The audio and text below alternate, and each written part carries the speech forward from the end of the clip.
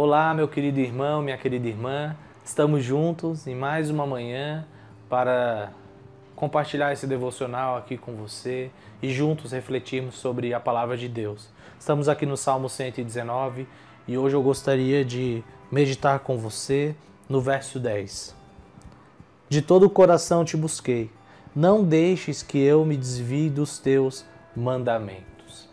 Meus irmãos, como nós podemos ser santos sermos santos no mundo perverso, buscando a Deus de todo o coração. É isso que o salmista fala. O que é buscar a Deus de todo o coração, meu irmão?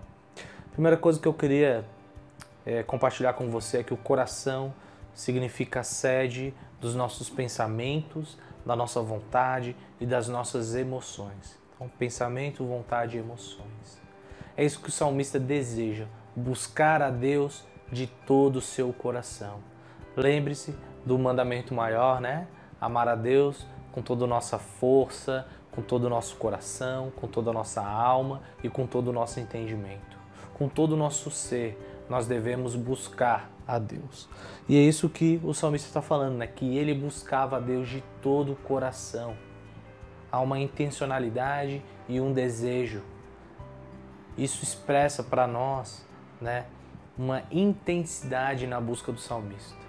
Ele não procurava Deus em só um momento do dia, só na manhã, só à noite, mas buscava Deus em todo momento, que é o que ele fala no Salmo 1, não é verdade?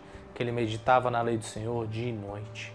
Então, meus irmãos, se nós queremos sermos santos no meio de uma geração perversa, nós precisamos buscar a Deus com todo o nosso coração e assim nos desviaremos do mal, ou seja, não nos desviaremos dos seus mandamentos.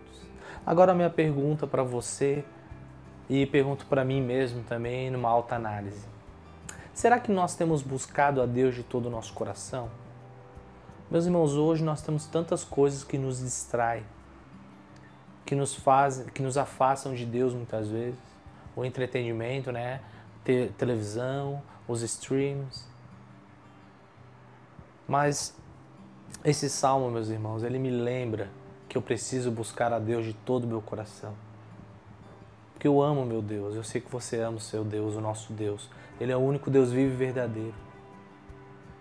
Então a maneira de nós buscarmos a Deus com todo o nosso coração fará com que nós conheçamos a Deus dia a dia e mais e mais.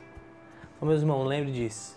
Se você quer ser santo no meio de uma geração perversa, corrompida e má, busque a Deus com todo o seu coração e não se desvie dos seus mandamentos. Deus te abençoe e te guarde nesse dia.